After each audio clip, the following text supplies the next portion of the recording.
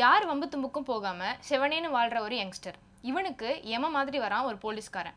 காரணமே சொல்லாமல் இவன் வாழ்க்கையை கெடுக்க நினைக்கிறான். அவனை எப்படியாச்சும் முடிச்சு விட்டுறணும்னு கங்கனு கட்டி சுத்துறான்.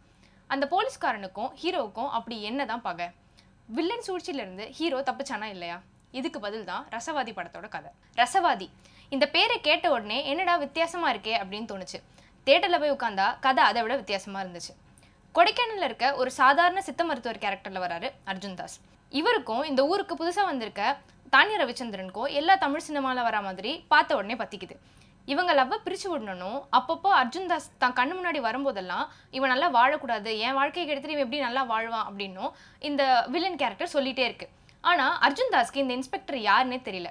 இவங்களுக்குள்ள அப்படி என்னதான் நடந்துச்சு? அர்ஜுன் தாஸை ஏன் அந்த இன்ஸ்பெக்டர் பழி வாங்கணும்னு இவ்வளோ துடியாக துடிக்கிறாரு? இதுக்கான காரணம் தான் படத்தோட கிளைமேக்ஸ் வழக்கமாக படம் பார்க்குறவங்கள முதல் பத்து நிமிஷம் கதையோட ஒன்றை வச்சுட்டாலே படத்துக்கு பாதி வெற்றின்னு சொல்லுவாங்க. ஆனால் இந்த படம் அதை செய்ய தவறியிருக்கு ஆனாலும் ஸ்டோரி கொஞ்சம் எங்கேஜிங்காக இருக்கிறதுனால படம் பேட் ரிவ்யூஸ்லேருந்து எஸ்கேப் ஆகிடுது ஜஸ்ட் பிகாஸ் இது ஒரு த்ரில்லர் ஸ்டோரிங்கிறதுனால ரொம்ப நம்ப முடியாத காட்சிகளை திணிச்சோ மிகைப்படுத்தப்பட்ட காட்சிகளோ படத்தில் இல்லை. இந்த படத்துக்கு இதுவே ப்ளஸ் பாயிண்ட்டாக அமைஞ்சிருக்கு. படத்தோட கதையே வில்லனோட இன்ட்ரோக்கு அப்புறம் தான் ஸ்டார்ட் ஆகுது.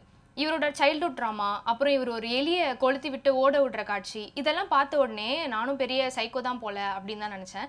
ஆனால் கடைசியில் தான் தெரிஞ்சது இவர் ஒரு எவ்ரி இந்தியன் நார்மலான ஒரு டாக்ஸிக் ஹஸ்பண்ட் ஸ்லாஷ் ஹியூமன் அப்படின்னு.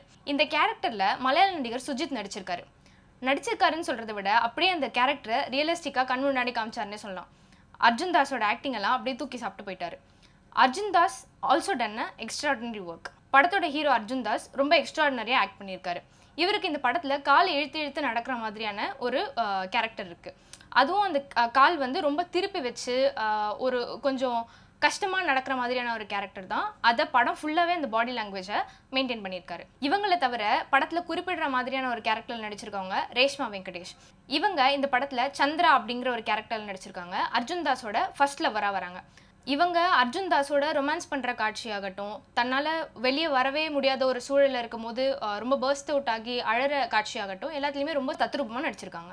இது வரைக்கும் தான் நடித்த படங்களில் ரொம்ப இறுக்கமாகவே மொ முகத்தை வச்சுட்டு ரொம்ப டார்க்கான ஒரு கேரக்டர்லேயே வந்துட்டு இருந்த அர்ஜுன் தாஸ்க்கு ரொமான்ஸ் சுட்டு போட்டாலும் வரல.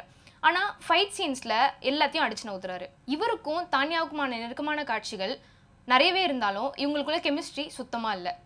தான்யா தனக்கு கொடுத்த ரோலை கரெக்டாக பண்ணியிருக்காங்க. அது தவிர உங்களுக்கு பட படத்தில் தமனோட இசை காட்சிகளோட ஒரு சில இடங்களில் மட்டும்தான் ஒத்தி போகிற மாதிரி இருக்குது இந்த விஷயத்துக்கு படத்தில் ட்ரிகர் வார்னிங் போடலை பட் இங்கே ட்ரிகர் வார்னிங் கொடுக்குறேன். ரசவாதி படத்தில் தற்கொலை சம்பந்தமான காட்சிகள் இருக்குது அதனால் இலகிய மனம் கொண்டவங்க இந்த படத்தை பார்க்கும்போது கொஞ்சம் கவனமாக பாருங்கள் முதல் பாதியில் எப்படா முடியும் அப்படின்னு இன்டர்வெலுக்காக வெயிட் பண்ணுற ரசிகர்கள் இரண்டாவது பாதியில் அதுக்குள்ளே முடிஞ்சிருச்சா அப்படின்னு கேட்குற அளவுக்கு விறுவிறுப்பாக கதையை கொண்டு போயிருக்காங்க. மொத்தத்தில் கொஞ்சம் ஏற்ற இறக்கத்தோட திரைக்கதை இருந்தாலும் ஒரு நார்மலான சட்டிலான நல்ல த்ரில்லர் படம் பார்த்து ஃபீல் கொடுக்குது ரசவாதி.